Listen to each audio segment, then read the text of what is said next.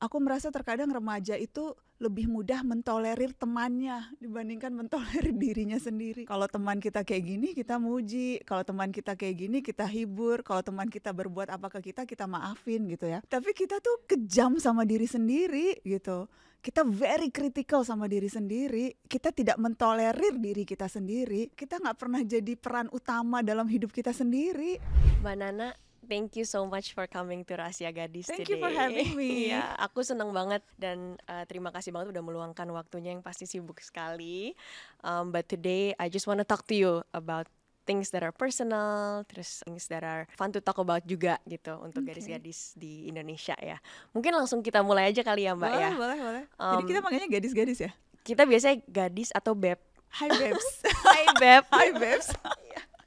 Mbak Nana, Hai. eh, menjadi seorang perempuan yang tangguh dan inspiratif, pasti Mbak Nana pernah melalui masa remaja sebagai gadis. Boleh diceritain sedikit nggak saat Mbak Nana mungkin masih remaja eh, di SMA gitu Hmm. mungkin? aku tuh menikmati banget masa SMA aku. Saking menikmatinya sampai 4 tahun loh. Orang biasa tiga tahun, aku 4 tahun SMA. Oh ya? Kok bisa? Enggak, karena aku tuh sempat ikut pertukaran pelajar. Jadi aku sempat setahun SMA di Amerika.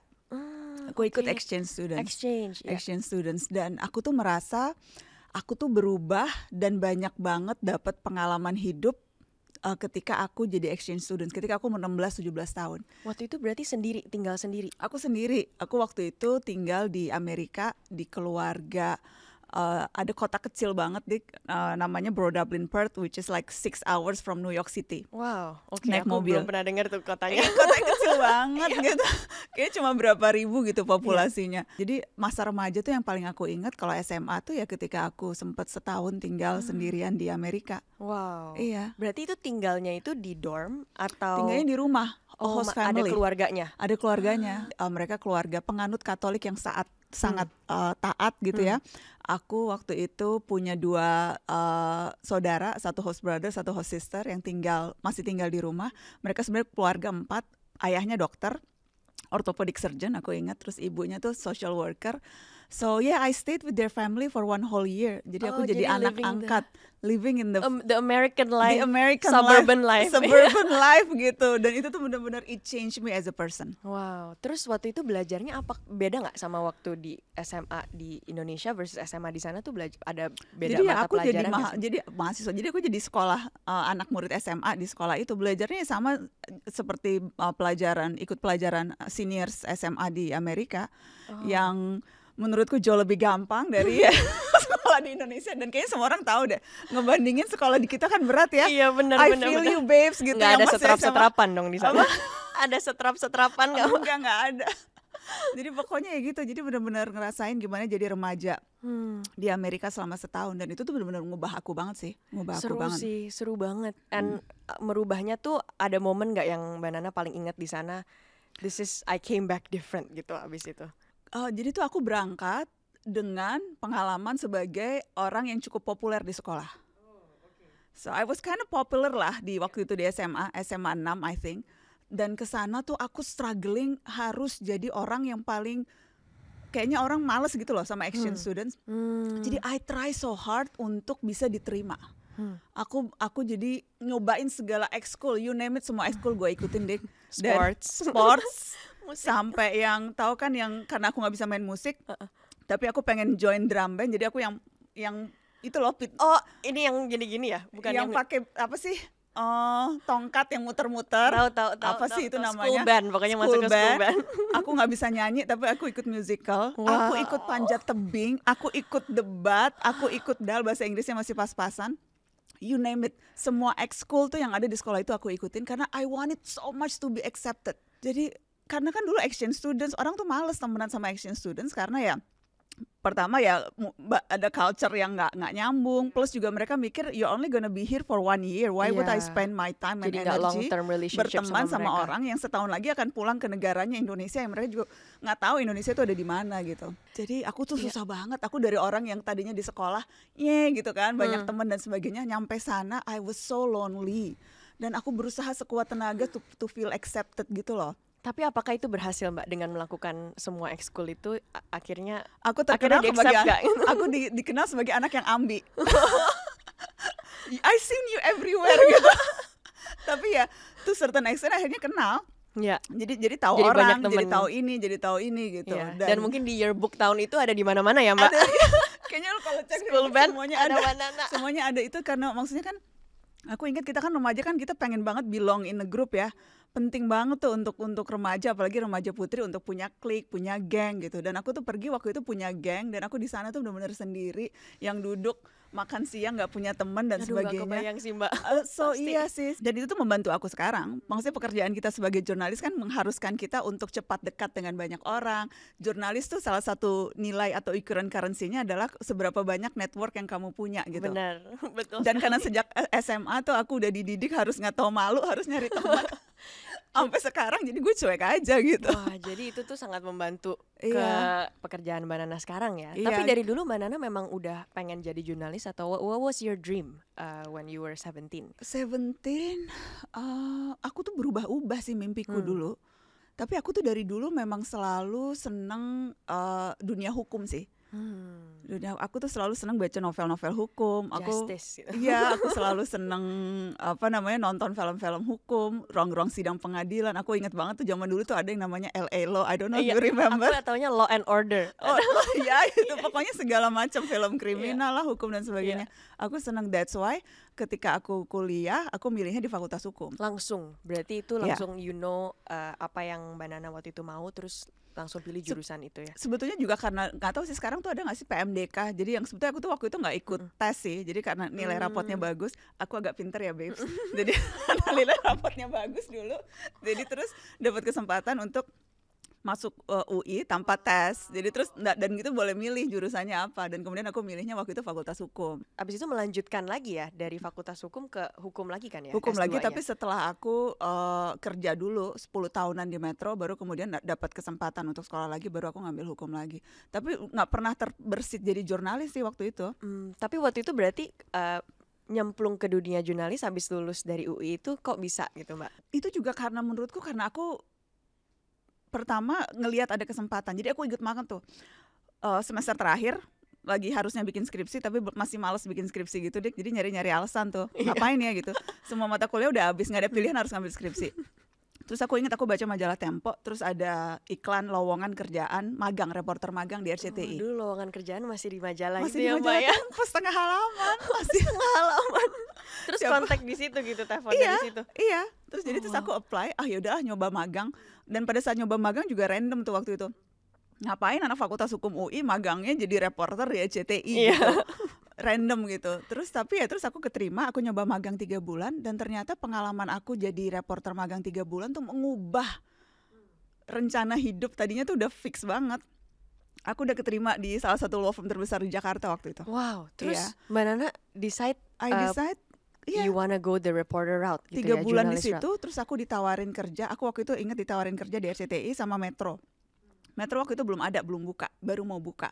Dan apa namanya Pemret Metro waktu itu yang pertama Bang Andi Andi F. Noya. Dulu pada saat aku magang reporter dia lagi magang jadi Pemret. Jadi waktu itu dia lagi belajar gimana bikin televisi karena latar belakangnya itu semuanya eh, cetak gitu jadi pada saat yang bersamaan baru aku dan Bang Andi pun masih baru gitu masih ya. baru Iya. gitu. Jadi terus habis itu dia ngeliat aku mau nggak coba daftar di Metro. I apply to both RCTI dan Metro. Uh, tapi kemudian terus aku memilih kerja di Metro karena stasiun TV berita. Kalau mau jadi wartawan, Hmm, jurnalis televisi ya of iya, course berita. di TV berita gitu. Yang peluang, kesempatan dan uh, apa namanya pengalamannya pasti jauh lebih banyak dibandingkan TV umum yang slot beritanya kan lebih sedikit gitu. Nah, bagaimana Mbak Nana tahu di saat itu gitu untuk memilih pekerjaan yang sangat baru, mungkin belum pernah punya pengalaman dibanding pekerjaan yang mungkin Mbak Nana udah belajar nih selama empat tahun gitu di UI. Nah, what made you chose that gitu?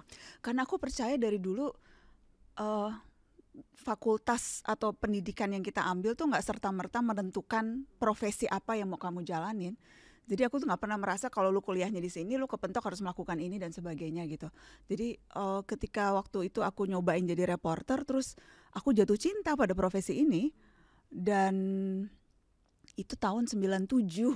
Wow, Can you imagine? Eh, no, tahun 2000 2000 ya. itu tahun 2000. Pertama kali aku kemudian masuk Metro tahun 2000. Metro belum ada belum mengudara Iya, bahkan. belum launching. Heeh, karena terus eh, aku di ya di RCTI-nya tahun 99.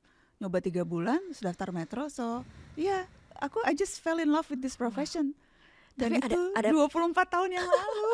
Pernah Udah ada tahun rasa takut 2000. gak mbak? Hah? Pernah ada rasa takut gak mbak? Karena aku jujur waktu pertama kali keluar dari uh, lulus dari kuliah tuh aku takut banget untuk masuk ke profesi yang dulu aku lulusnya jurnalis tapi aku masuk ke dunia bank. Hmm. Jadi itu bikin aku takut sekali gitu sampai Wajar aku sih. minder sekali gitu. Waktu Hmm. itu mbak Nana ada rasa ketakutan itu nggak dan bagaimana melewatinya? Eh, takut karena ya maksudnya itu dunia yang sama sekali baru. Dan aku inget tuh waktu jadi reporter magang kan eh, sementara yang lain tuh latar belakangnya banyak kan komunikasi terus mereka eh, ada juga yang magang tapi udah ada pengalaman jadi reporter sebelumnya di tempat lain gitu. Aku tuh bener-bener newbie I learn by doing gitu.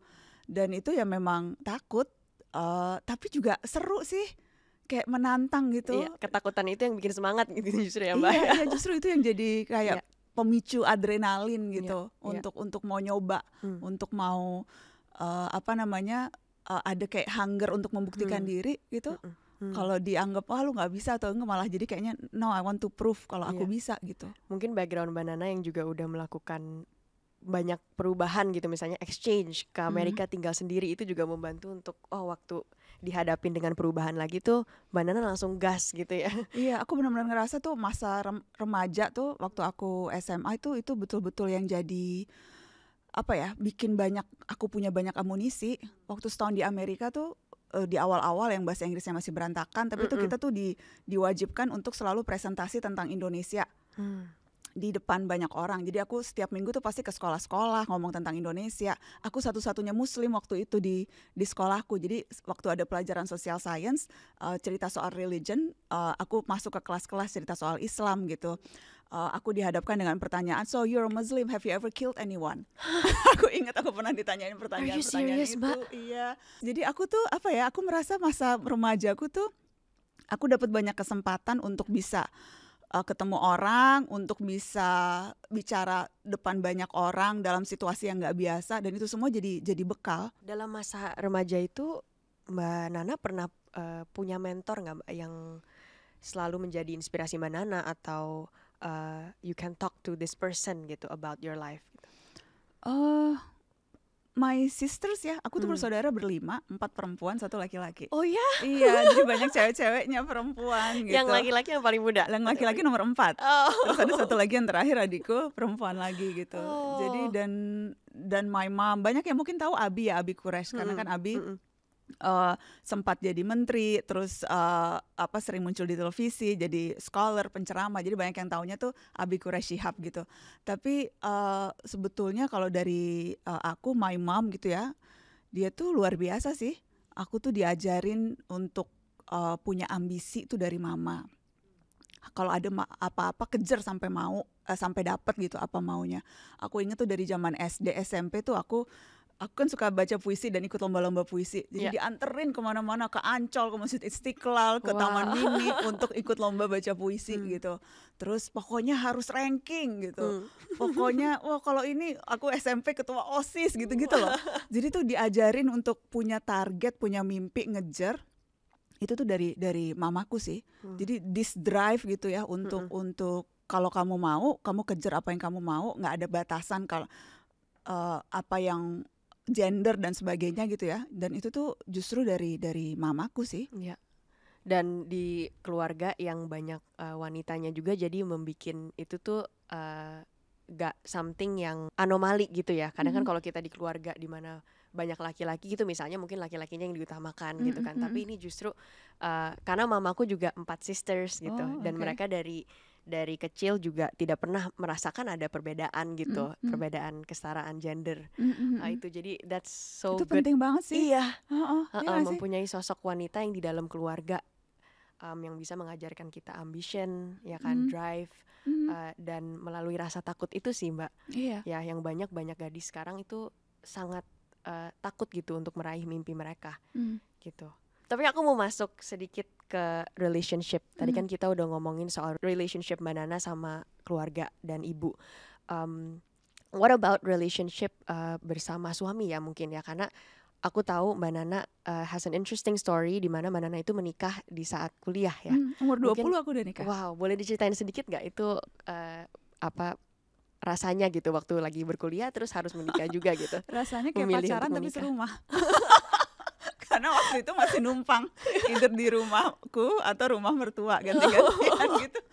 Jadi ya udah aku berangkat kuliah, dia berangkat kerja, pulang. Gitu. pacaran serumah. Enak loh cobain deh. Enak juga ya. Jadi kalau mau nganterin pulang bareng. beban. Iya. Cuma eh, apa ya waktu itu ya? Aku inget waktu aku ngasih undangan ke dosen-dosenku tuh pada "Hah, kamu mau nikah.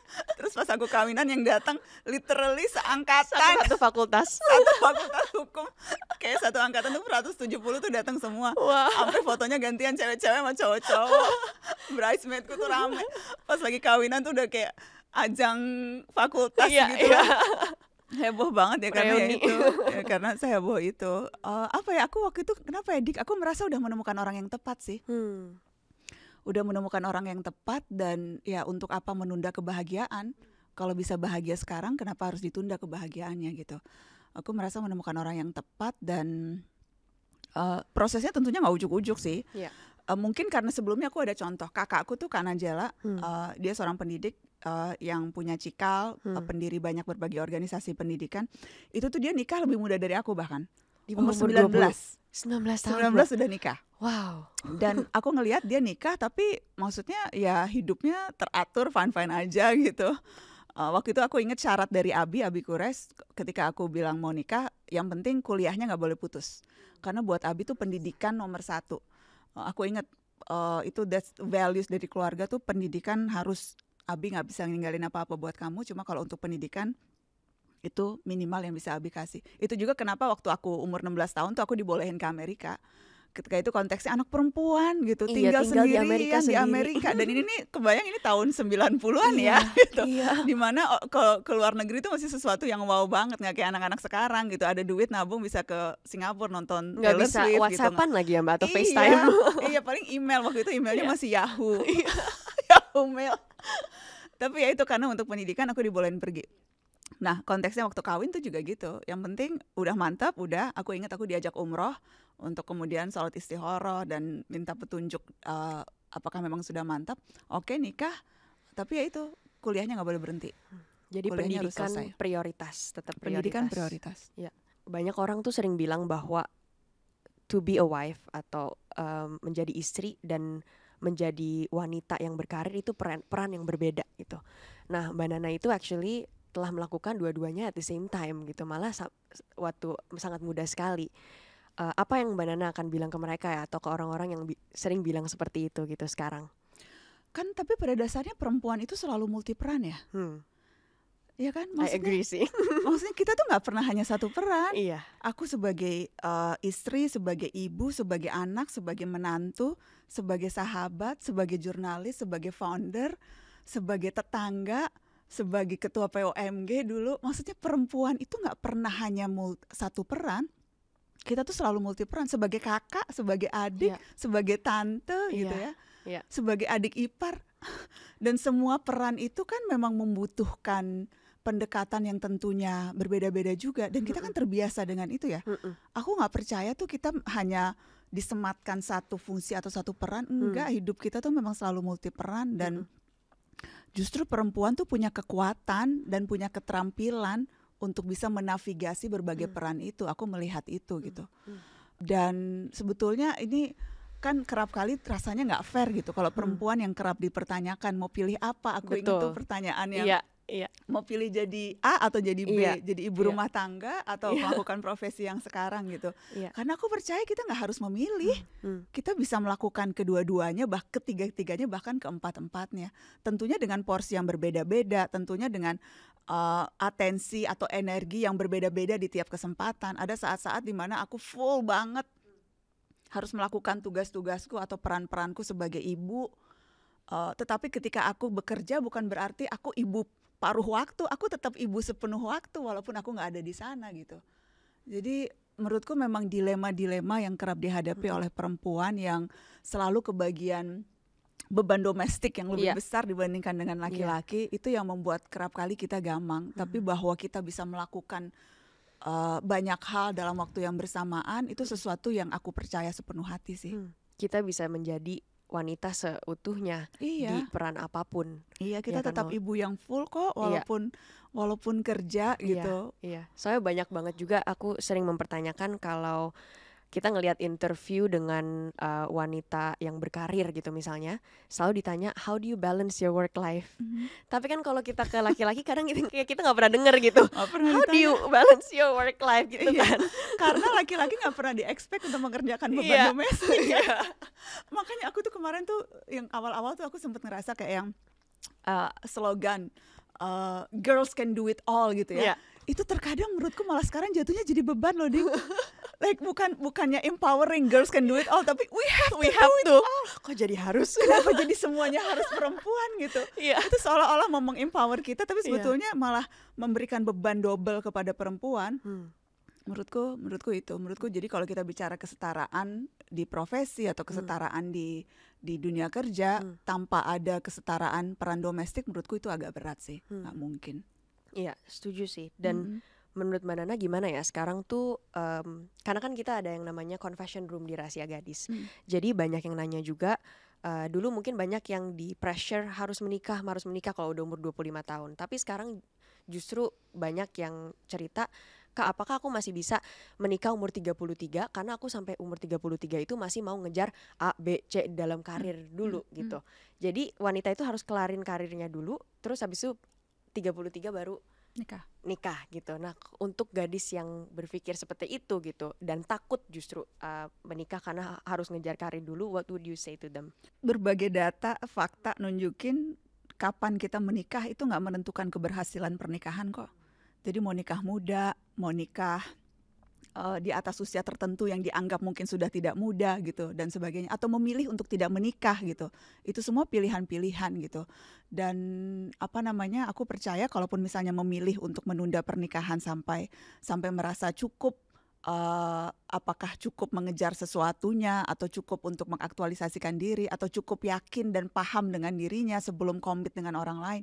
Itu semua pilihan-pilihan yang fair gitu pilihan-pilihan yang wajar dan memang seharusnya kita beruntung kalau kita masih punya pilihan itu karena kan ada banyak sekali situasi di mana pilihan itu tidak ada di tangan kita. Iya. ditentukan oleh oleh orang tua kita atau dipaksa oleh kondisi atau situasi sehingga kemerdekaan kita untuk menentukan apa yang mau kita lakukan dengan masa depan kita nggak di tangan kita gitu ya. Kita bicara pernikahan dini kita bicara orang yang karena kesulitan uh, perekonomian harus menikah untuk membantu ekonomi keluarganya dan sebagainya. Jadi kalau kita masih punya pilihan itu kita privilege dan kalau kita sadar bahwa nggak semua orang punya kemewahan dan kemerdekaan untuk bisa menentukan kapan mereka bisa menikah dan sebagainya, menurutku kita akan melihat itu dengan jauh lebih cautious mungkin. Hmm. Pertimbangan yang diambil juga pertimbangan yang dengan penuh kesadaran gitu. Saya memilih ini karena saya tahu ini yang terbaik buat saya gitu. And then again situasi setiap orang berbeda-beda. Dalam situasi dan kondisiku, aku menikah muda, that's my choice gitu ya. Eh, temenku ada yang mungkin untuk kalangan society udah telat nikah nih gitu. Kalau perempuan kan dianggapnya di atas usia tertentu udah telat nikah gitu. Tapi aku nggak pernah merasa dia dan dia bilang ke aku saya nggak kesepian kok. Maksudnya kan hubungan itu kan kompleks ya. Tanpa pasangan tapi punya sahabat sejati. Dan kalau kita cinta dengan diri sendiri kita nggak akan pernah merasa kita alone gitu karena we're in love with ourselves gitu. Hmm, hmm. Jadi jadi menurutku um, situasi dan kondisi berbeda-beda. As long Hmm. as you're sure about about pilihan yang kamu ambil gitu. Iya. Iya. Aku setuju sih dengan kata-kata itu uh, thinking choice that choice is a privilege gitu. Pilihan Mhm. itu adalah privilege karena kadang kita sering menyalahkan situasi kita sendiri gitu ya. Dan em, apa aku juga sering di posisi ini sih. Kadang kalau kita nggak mikir choice is a privilege, situasi kita jadi kok kayak beban banget Mm, gitu ya. mm, Kenapa aku harus mikirin eh, kapan nikah sih sekarang kok kayak di pressure padahal yang pressure diri itu mungkin kita sendiri gitu. mm, Dan mm. kita sebenarnya punya pilihan yang sangat besar apalagi di dunia sekarang sebagai wanita ya. Iya, iya. Mm-mm, iya. mm-mm. Dan uh, Mbak Nana I have one question uh, yang aku personally uh, penasaran juga karena I also want to get married soon gitu ya. Jadi ba- backgroundnya nih and Udah I really found the want right the right partner. I think so. Alhamdulillah. and I am thinking about marriage Okay. uh, dan aku selalu memikirkan dua peran itu tadi ya bagaimana cara menjadi wanita karir dan uh, be a wife juga tapi hari ini terbuka juga sih Hmm. ngobrol sama Mbak Nana bahwa that shouldn't be uh, apa something that we think about karena kita bisa multi peran gitu. Mm-mm. Nah, dan akan ada masa-masanya kok maksudnya learn by doing. Maksudnya aku nggak aku nggak bilang semuanya. Aku kan nikah udah lama ya udah 25 tahun aku nikah. Dan maksudnya I would be lying kalau aku bilang nggak ada masa up and down gitu. Nggak ada masa yang di mana aku ngerasa aduh I don't think I'm I'm a good wife gitu atau I'm a good mother gitu ya memang akan ada masa-masa itu gitu. Masa di mana belajar kita kan nggak pernah diajarin gimana cara cara. cara menikah, cara menjadi ibu. tapi katanya sekarang tuh ya sekarang tuh udah banyak banyak referensi ya. Iya, bisa nonton iya. podcast bisa bisa Mm-mm. baca buku dan sebagainya. Tapi mostly kan kita ngelihat dari relationship orang tua kita ya. Iya, itu, that's itu kan true. yang kemu- uh, yang kemudian kita nilai oh ini bisa kita ambil atau Hmm. justru kita merasa kalau nanti gue menikah gue nggak Hmm. mau melakukan itu Mm-mm, gitu kan mm-mm. kan kayak gitu ya jadi Iya, kita menyerap cinta yang ada di depan mata kita. Iya, iya. Jadi jadi menurutku sih eh, ya memang menikah dengan dengan pandangan realistis gitu bahwa eh, akan ada masa-masa sulit, masa-masa berat dan akan ada penyesuaian-penyesuaian yang dilakukan gitu ya. Karena aku kayak aku dengan Mbak Em gitu aku merasa aku tumbuh bersama dia sih, Dik. Hmm, growing Kan- together. Iya, aku aku aku nikah umur 20, dia umur 26, aku masih kuliah, dia masih baru uh, his first job gitu ya. Uh, terus jadi ya bener-bener aku belajar bareng dia, aku tumbuh dewasa bersama dia dan itu juga um, uh, apa namanya perjalanan yang nggak nggak mudah gitu, nggak mudah. Tapi ya memang apa sih yang dalam hidup kalau mau hidup maunya mudah aja sih. Nggak ya maksudnya kan hidup is the berat. Iya iya. Iya. What is the best part of um, your marriage, Mbak, so far? mungkin karena dia betul-betul tahu eh, perjalanan karirku ya dari awal ya. Dari mulai aku masih reporter magang terus dari mulai aku siarannya tuh cuma boleh siaran yang tengah pagi buta.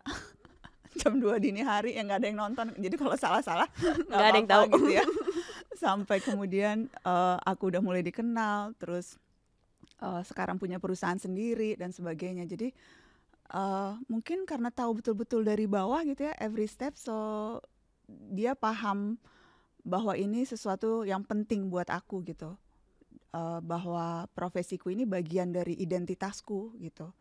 Dan dia paham itu. Dan menurutku itu eh, susah sih mencari partner yang paham bahwa yang aku lakukan tuh bukan pekerjaan tapi bagian dari aku gitu jurnalis tuh bukan profesiku jurnalis tuh udah Di dalam diri.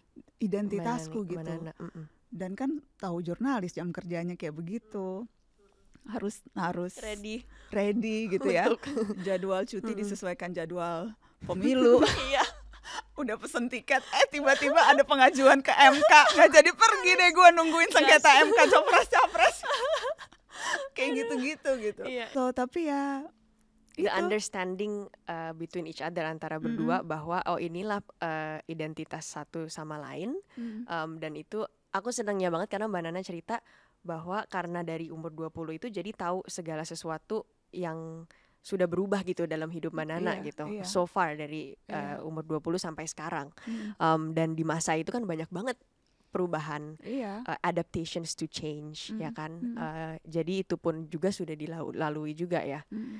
Wow, dan dari Mbak Nana masih remaja sampai sekarang you've achieved so many things, Mbak. Um, masih ada nggak sih Mbak um, mimpi gitu yang Mbak Nana mau raih? Gitu? banyak banget Apa Banyak aja tuh Mbak? Eh, aku akan narasi tuh menurutku kita mentalitinya selalu mentality startup. Jadi narasi tuh media digital yang aku bangun bersama dua co-founderku itu tuh eh, masih jauh dari yang aku inginkan bisa lakukan gitu. Aku ingin semakin berdampak, semakin berpengaruh. Aku ingin bisa reach semakin banyak orang. Aku ingin bisa jadi eh, apa namanya wadah untuk orang bukan cuma dapat konten tapi juga bisa bergerak. Jadi aku mau narasi bisa jauh lebih powerful dari yang ada sekarang. Itu itu mimpiku. Dan untuk meraih itu aku tahu memang step by stepnya panjang gitu. Iya.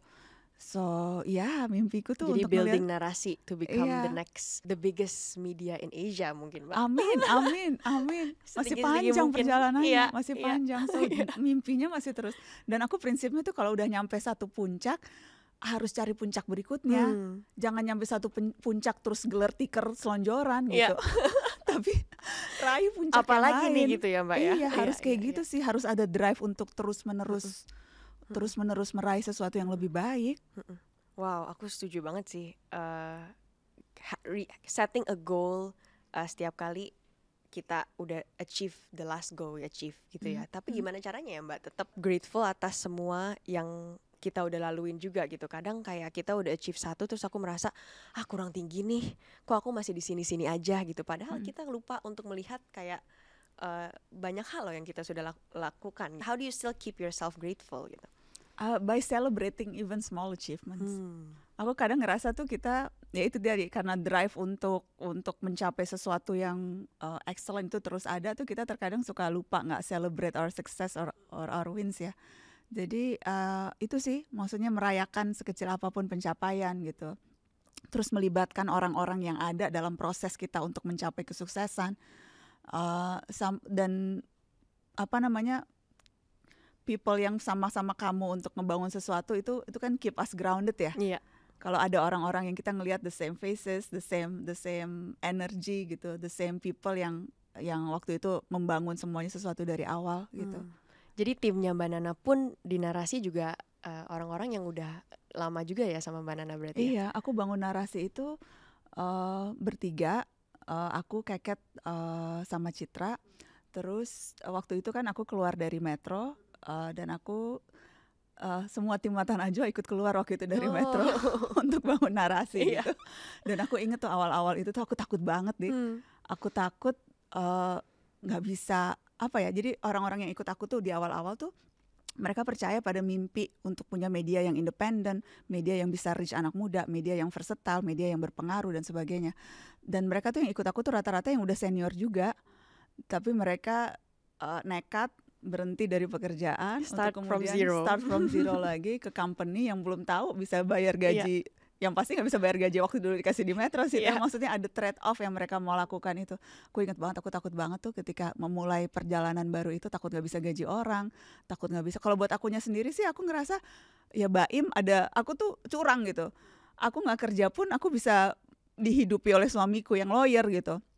Dan apa namanya kalaupun misalnya narasi nggak jadi ya udah nggak apa-apa. Gue gue sama minta duit aja sama baim gitu. Eh, tapi kan itu kan lagi-lagi privilege yang nggak dimiliki semua Hmm. orang nggak semua orang punya punya kemewahan untuk kalau misalnya kerjaannya nggak nggak nggak berhasil terus bisa mengharap pada support sistemnya gitu dan itu tuh maksudnya risk yang harus yang waktu itu bikin aku nggak bisa tidur eh, turun 5 kilo dan rambut rontok Aduh. ketika ketika membangun sesuatu Iya. dari awal iya Dan di kala semua itu Mbak Nana tetap harus on camera ya Mbak. Mm. Maksudnya itu tetap di belakang layar membangun perusahaan dari zero tapi di depan layarnya juga Mbak Nana tetap sebagai jurnalis yang selalu menanyakan pertanyaan-pertanyaan yang Mm. orang takut juga gitu untuk jawab. Um, sekarang wow. udah pada jago-jago ngeles tambah jago Iya, ngeles ya. politisinya Jadi sebelum di interview Mbak Nana mereka udah frequently ask questions. aku kayaknya bisa bikin buku dedik cara politisi Mau ngeles dong Mbak. mau ya Mau, Kayak mau, mau. bikin. sebelum Udah interview hari ini aja kayak. "Hmm, tanya apa ya ke Mbak Nana ya. Tapi talking about those questions ya, eh, Mbak Nana kan sering banget em, mempertanyakan pertanyaan-pertanyaan sulit gitu ya ke narasumber gitu. Ada nggak terbalik gitu Mbak Nana yang apa pertanyaan tersulit yang Mbak Nana pernah harus jawab atau pernah dipertanyakan gitu? Sebaliknya.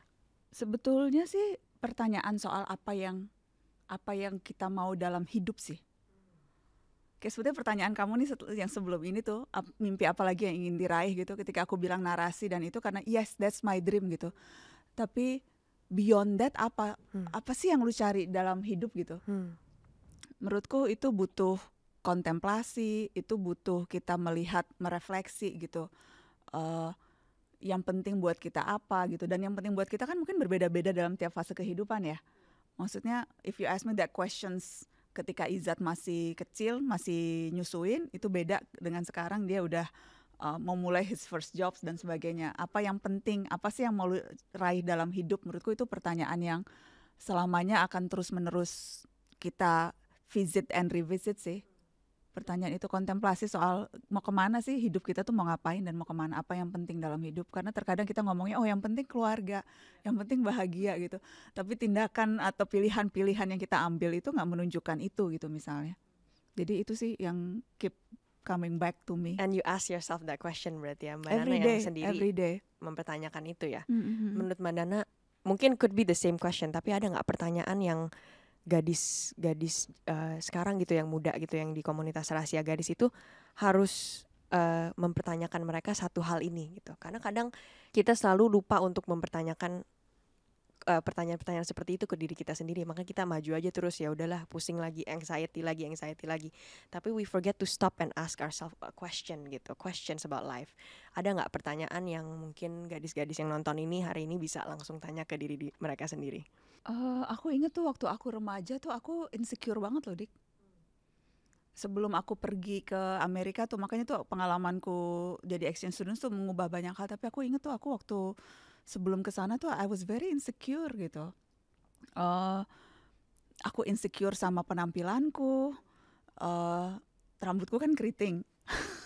Oh gitu mbak. Iya, aku tuh dan aku insecure dari aku inget banget tuh karena kakak aku tuh rambutnya lurus halus gitu. Aku inget tuh sejak dan aku inget banget dan mama tuh selalu cerita gitu waktu kecil tuh setiap kali diajak potong rambut aku selalu nangis karena keluar dari salon beda karena Kayla rambutnya lurus bagus sementara aku keluar dipotong sama persis potongannya tapi karena keriting Kayla pakai poni segini lucu gitu kan. aku karena keriting poninya naik dong jadi jadi tuh aku selalu kayak insecure dengan penampilan Iya. terus aku dulu waktu kecil pakai kacamata kan aku Hmm. pakai kacamata dari umur uh, kelas 4 SD jadi I was very insecure about how I look gitu Hmm. dulu dan apa namanya uh, itu membuat aku jadi jadi apa ya dan aku tahu banyak nih gadis-gadis gitu yang selalu memang nggak nggak cukup pede dan feel secure tentang tentang penampilannya tentang looknya gitu dan menurutku uh, pertanyaan yang bisa terus-menerus diajukan ke diri sendiri adalah dan ini kita kerap kali kerap kali lupa gitu ya kayak uh, apa sih yang yang kamu suka dari diri kamu? Aku merasa terkadang remaja itu lebih mudah mentolerir temannya dibandingkan mentolerir dirinya sendiri. Kalau teman kita kayak gini kita muji. Kalau teman kita kayak gini kita hibur. Kalau teman kita berbuat apa ke kita kita maafin gitu ya. Tapi kita tuh kejam sama diri sendiri gitu.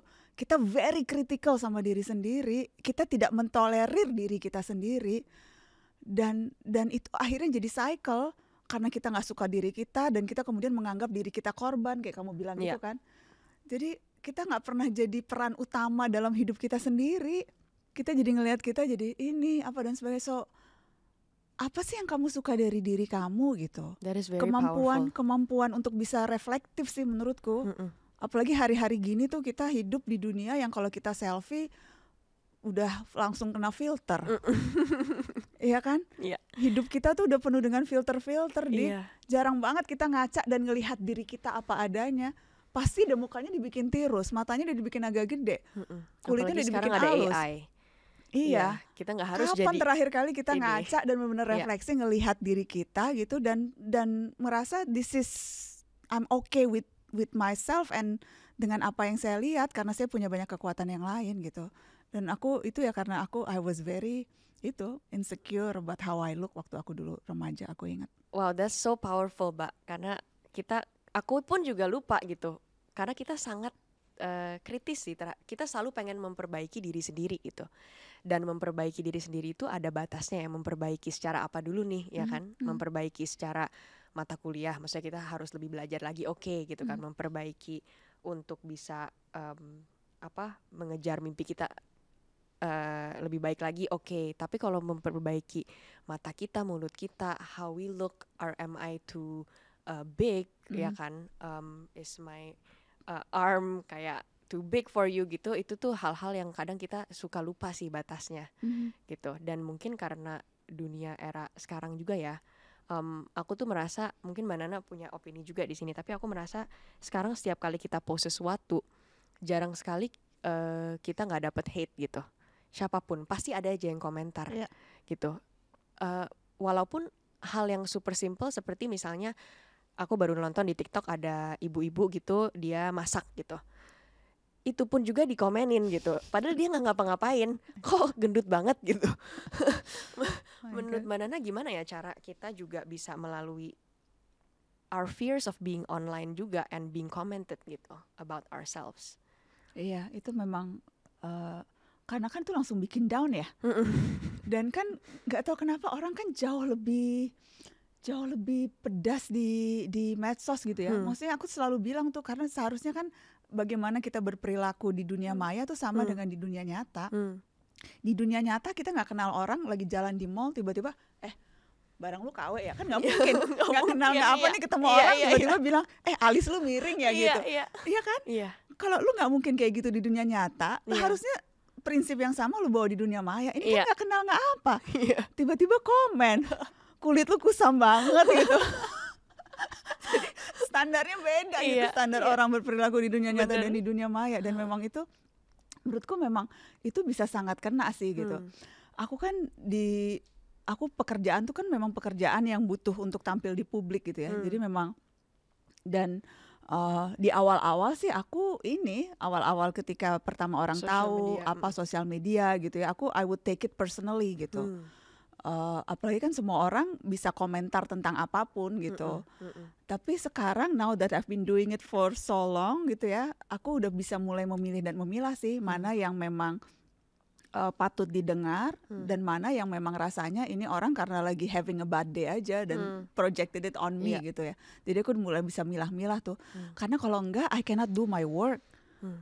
Kalau enggak nggak bisa kerja aku kalau ngikutin apa kata orang, apa apa omongan orang gitu. Kita yang harus menfilter sendiri ya. Kita Iya. harus kontrol sendiri juga ya. Iya, iya. Iya. Dan kalau memang belum bisa di, kalau kita masih belum bisa ngontrol itu dari dalam, kan ada banyak tools untuk mengontrol itu. Dimatiin aja komennya Mm-mm. atau di filter. Kan ada, ada banyak cara. Mari gunakan teknologi atau Iya. alat yang memang fungsinya membantu kita. Kalau memang kita masih belum bisa melakukan itu sendiri Mm-mm. gitu. Tapi pada prinsipnya sih, menurutku just understand kalau orang hateful itu karena memang kasihan ya hidupnya pasti ada yang something wrong dengan Iya. orang itu sampai kemudian harus kayak gitu. Melampiaskan. Oh, oh, oh, oh. Jadi jadi aku comment seringnya sih feel kita. sorry tentang orang itu. So so don't take it on yourself. Mm, Ya, I agree. Walaupun aku juga kadang suka takut gitu ngelihat request DM gitu. Takut aja gitu ada yang Tiba-tiba apa gitu ya? Iya, padahal itu pun selevel maksudnya aku pun bukan uh, public figure or someone who comes in front of the camera a lot gitu. Jadi uh, dan aku udah umur mungkin 28 tahun sekarang ya. Aku nggak kebayang kalau misalnya aku- Baru. baru oh ya. baru, Mbak. Pokoknya depan umur tuh selalu baru bukan udah. No matter, Baru. no matter. baru. Nah, itu lagi. Baru compared to uh, saudara aku yang udah matiin semua private dia apa segala macam karena kena hujat di umur 16 tahun gitu misalnya. Hmm, Jadi tapi memang iya sih, memang kadang tuh sosial media can be so tough and so iya. so hateful gitu. mm-mm. Iya. aku pengen tanya maybe a last two questions gitu Oke. uh, buat Mbak Nana. Yang pertama adalah what is the best part of being you ya? Karena mungkin banyak kayak termasuk aku gitu. Uh, aku tuh selalu melihat Mbak Nana tuh sosok yang inspiratif banget. Tapi aku juga pengen tahu menurut Mbak Nana sendiri uh, what is yeah what is the best part of being you right now? Apa- alhamdulillah sih, tapi the best partnya adalah I get to meet so many people sih.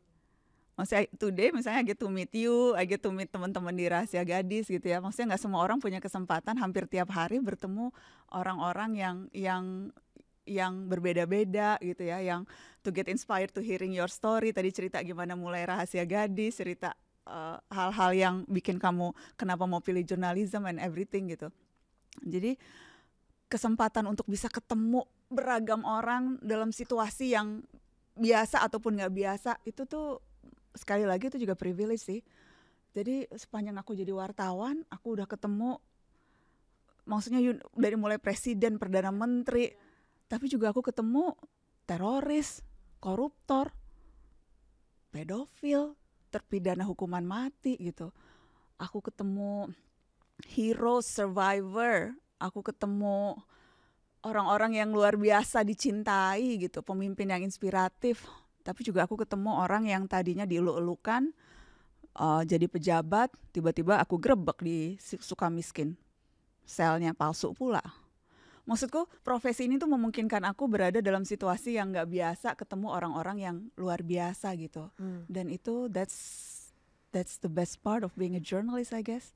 Bisa berada dalam situasi-situasi yang mungkin nggak semua orang Getting Dan- exposed to a lot of different situation yang kita nggak tahu akan gimana cara nanti membantu Mbak Nana ke depannya gitu kan. Iya, iya. kalau ada suatu hal lagi. Dari semua itu Mbak, experience itu the best part of being you. Dari experience Mbak Nana sendiri, eh, apa pesan yang Mbak Nana akan sampaikan ke gadis-gadis yang sekarang lagi takut untuk uh, masuk ke dunia kerja atau takut untuk meraih mimpi mereka, takut untuk memilih jurusan apa kuliahnya atau takut untuk menikah gitu. Wah, uh, ada nggak satu pesan untuk mereka, Mbak? Nggak apa-apa takut. Kalau mimpi lu nggak bikin lu takut, berarti mimpinya nggak cukup gede. Jadi kalau lu nggak takut, malah justru lu pertanyakan, jangan-jangan yang gue pertaruhkan nih nggak ada apa-apanya nih. Kalau kamu mimpi kamu nggak bikin kamu gelisah, nggak bikin kamu mempertanyakan, nggak bikin kamu deg-degan, itu artinya mimpinya nggak cukup gede. Dan sayang, kalau mimpi aku selalu bilang mimpi jangan nanggung. Mimpi itu harus yang bikin kamu gemeter. Itu yang harus kamu cari. Wow. Dream bigger. Big, iya. Iya. Kita tuh terlalu sering berharap pada capaian jangka pendek dan lupa bahwa sebetulnya kita bisa mencapai hal-hal tuh jangka panjang. Jadi kalau aku tuh kalau bikin sesuatu tuh targetku segini. Kemudian ada steps along the way gitu. Jadi kalau aku gagal di sini atau belum berhasil di sini, aku akan nyoba lewat jalan sini. Karena aku gagalnya yang aku cari di sini loh. Gagal di sini turun sedikit lagi, naik lagi, naik lagi nyampe sini. Jadi aku nggak pernah gagal karena mimpiku ini tuh mimpi yang sangat besar kok. Along the way-nya itu tuh yang aku raih gitu. Jadi harus di sini mimpinya. Manjatnya di sana. Itu the process of manjat itu yang seru. Yang dinikmatin. Jadi kalau takut justru ditakutin. malah bagus.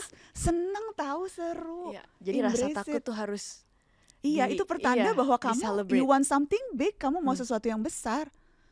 Jangan kalau nggak bikin takut mah, it's so easy kalau nggak bikin takut. Ya nggak sih? Tapi satu, be brave, but don't be stupid. Be brave girls, but don't be stupid. Jadi mari persiapkan amunisi. Berani, tapi mari belajar, mari bergaul, mari nonton drama Korea sambil nyatetin istilah-istilah Koreanya apa, belajar bahasanya gitu ya nggak apa-apa ngefans sama aktor atau aktris segitunya tapi terus cari tahu apa kekuatannya mereka gitu tiru apa yang mereka bisa lakukan. Kalau nggak pede belajar dandan sekarang dengan kita belajar dandan semua orang bisa cakep. Olahraga biar happy. Deket deket sama ibu deket sama keluarga sayangin adik perhatian sama temen kirimin kue ke tetangga. Say hi ke orang yang baru lewat senyum be brave but don't be stupid. Mari siapin amunisinya itu. Dan amunisi sekarang tuh bisa gampang banget dan murah banget kok. Curhat di rahasia gadis nonton podcast ini gabung komunitas ya kan? Nontonin YouTube yang bikin happy. Banyak banget cara kita menyiapkan diri kita. Amunisi itu bisa didapat dari mana-mana. Dan proses untuk meraih mimpi itu nggak hanya kita belajar atau kerja tapi yang tadi itu ya bisa di teman-teman kita bisa di sela kita nonton K-drama kita bisa belajar something from that. Iya. Iya. banyak banget kok sekarang cara untuk kita bisa jadi lebih lebih ready gitu. Wow I love that mbak. Aku jadi tiba-tiba rasa semangat aku kebuka lagi mbak. Ah, I wanna dream bigger Uh, dan apa namanya rasa takut itu nggak harus kita bi- bikin kita jadi ciut ya. Justru harus kita embrace dan celebrate and rasa comfortable itu nggak selamanya bagus gitu mungkin kalau kita too comfortable ya Right? ya uh, maybe we need to get out of our comfort zone juga selalu harus sih Uh-uh. wah thank you so much mbak Sama-sama Di, for thank sharing, you. Thank you. um, both your personal juga karir uh, dan aku jujur uh, nggak nyangka juga bahwa aku lagi ngobrol sama Mbak Nana sekarang jangan gitu about dong. something so personal Oh, juga Thank you, uh, thank you. um, I'm always so grateful kalau kita bisa sharing something yang cukup dalam uh, dan banyak kasih aku insight-insight dan Mhm. semoga ini helpful juga for girls uh, yang sekarang lagi nonton. Hopefully, Iya, mungkin sebelum kita uh, selesai sesi kita, aku mau tanya beberapa rapid fire question aja. Jadi aku akan menanyakan beberapa question, terus Mbak Nana langsung jawab secepat mungkin. Oke. Oke, satu buku favorit Mbak Nana. Aku suka buku puisi. Hmm. Aku merasa setiap gadis harus punya satu buku puisi favorit. Favorit puisi eh, aku adalah Eyang Sapardi sama Joko Pinurbo. Oke. Aku merasa buku puisi itu bisa bikin kita jauh lebih romantis. Hmm. Gadis-gadis harus romantis tahu, harus bucin ya. Keeping feelings in check. Yes. Film yang paling Mbak Nana suka. Mungkin boleh yang suka eh, recently juga boleh. Um, aku tuh suka film-film yang apa komedi romantis gitu loh dik yang ringan-ringan karena kan Drakor. drakor aku kadang suka terlalu lama aku nggak sabaran tapi aku suka suka film yang kayak aku yang aku suka banget tuh nggak tahu kalian pernah nonton nggak ya? As Good as It Gets Belum. Jack Nicholson. Jack Nicholson. Oh, itu waktu itu pernah main Oscar. Terus aku suka film-film kayak yang eh, yang ringan-ringan, yang romantis komedi gitu loh, yang Sleepless in Seattle, yang klasik, yang Iya. You've Got Mail, The Holiday, Nothing Hill, yang gitu-gitu aku sukanya. Romcom. Romcom. Next, jumlah sneakers yang Banana punya. Eh, aku nggak tahu jumlahnya ya, Di atas 20, di atas 30, di atas 50. di atas 100. Banana. Kapan Mbak Garasel? Nggak, tapi itu selalu karena tuh rezeki anak soleha ya. Aku tuh selalu dikirimin selalu dikirimin sneakers dan sekarang kan Oh. sneakersnya kan sneakers lokal keren-keren ya. Hmm. Tapi itu aku per per tiga bulan tuh selalu aku bagi-bagiin dan selalu setiap kali acara narasi tuh pasti selalu door prize-nya sneakers dari aku. Mungkin kapan-kapan ada Garasel undang aku ya Mbak. siap, siap. Enggak sih nggak nyampe 100 90-an lah. Tetep aja sih Mbak. Lumayan. Perempuan favorit Banana. Oh, my sisters kali ya. Hmm. Najela, Nashwa, Nahla. Hmm. And my mom, I have to mention my mom. Of ya, course. Of course. mama. Tempat paling indah yang pernah Mbak Nana datengin. Aku baru ke- dari Labuan Bajo kemarin itu. Bagus Pertama banget kali aku ke Labuan Bajo. Bajo.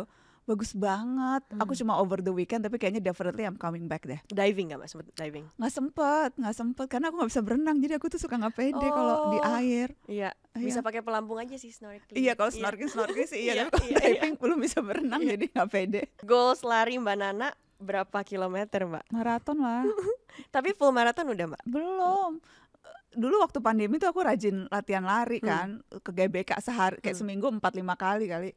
Cuma sekarang sejak sejak udah mulai eh, pokoknya udah udah mulai padat aku jadi susah nyari waktu. Jadi paling Hmm. cuma kayak seminggu dua kali larinya. Padahal mimpinya tuh pengen bisa maraton sih. Wah berarti mungkin tahun ini atau tahun depan kita amin, bisa lihat amin. Mbak Nana di Amin. Boston Marathon. Amin. 42 kilo ya Allah. Kayak belum sanggup sih gue. Tapi nggak apa-apa kan mimpinya harus bikin. Iya, Kalau nggak bikin takut nggak usah Iya. mimpi. Jadi mimpi gue adalah Bener. bisa lari nonstop 42 kilo. Kita hanya bisa nonton di TV ya Mbak. Aku sih nggak bisa lari. Klub bola favorit Mbak Nana. Arsenal Oh, dong. iya. Jadi menang nggak Mbak aku nih? harus nyebut Bali United kan? Ke pressure gitu nyebut Bali United karena kamu. Nggak aku kalau kalau yang klub Indonesia tuh aku nggak akan mau nyebut Iya iya iya. karena supaya adil semua. Aku suka semua. Cuma kalau kalau di luar sih Arsenal lah mohon maaf ya. Iya, berarti Kita lagi Arsenal menang dong satu. Mbak bentar lagi. Aduh aku Menang tuh aku tuh suka deg-degan ya berharap sama Arsenal tuh suka suka suka. Kadang udah satu nanti turun lagi. Aduh udah tiga. terlalu sering dikecewakan tapi ya nggak apa-apa lah kita tetap setia. Satu hal yang paling bikin Mbak Nana susah tidur. Kerjaan belum selesai. Hmm, Kerjaan belum selesai. Itu sih mikirin terus pasti ya. mikirin, heeh. Aku kayak kemarin nggak bisa tidur Mbak karena pagi ini mau interview Mbak Oh, jangan gitu. Beneran ya? Beneran. Ini tim-tim juga, ini tuh tim aku yang Ah. bikin talking points juga. Aku nggak bisa tidur deg-degan. Satu hal yang paling bikin Mbak Nana senang. Kalau belanja online eh pas. kan belanja online untung-untungan ya. Size-nya nggak tahu atau apa. Terus pas barangnya datang pas dipakai eh pas banget mana harganya oke. Itu bikin seneng banget tau gak sih? Nah itu yang namanya merayakan Iya momen kan? kecil, betul. Me- merayakan hal-hal kecil. Iya, kan kita udah niatan kan kan kadang kan udah ngukur pakai Bener, ukurannya lah bener. baca komen ini umur berapa terus ini kayaknya ukurannya ini eh nyampe nggak muat tuh sebel banget kan jadi kalau barang online tuh pas di size tuh seneng banget Enak banget rasanya Uh-uh. gitu ya, kayak berhasil berhasil menemukan goals hari ini. Terakhir, apa yang paling bikin Mbak Nana bangga sama diri sendiri? akhir-akhir ini ya Hmm. eh, konsistensi olahraga Hmm. dulu tuh sebelum pandemi tuh aku nggak nggak terlalu rajin tapi maksudnya seperti halnya banyak hal gitu ya pandemi mengubah banyak hal sekarang tuh aku aku rajin olahraga aku seminggu bisa 4-5 kali Wow. lari pilates weight training dan itu bikin aku bangga sama diri sendiri karena I'm Wow. taking care of myself menuju 42 km ya Mbak. Let's celebrate Amin. these moments Amin. together. Thank you Mbak Nana Thank you, again Thank for you. coming here. Semoga kita bisa kolaborasi lebih lanjut. yes And next time kamu ke best. narasi dong Ayo dong, mau Iya kan? mau mau mau. Justru all the best for narasi. Aku pengen baru mau minta ayo kita collab Mbak. ayo dong harus dong harus Oke, thank you so much Thank you, Mbak. Dik. Thank you. Thank you. bye thank you Bye-bye.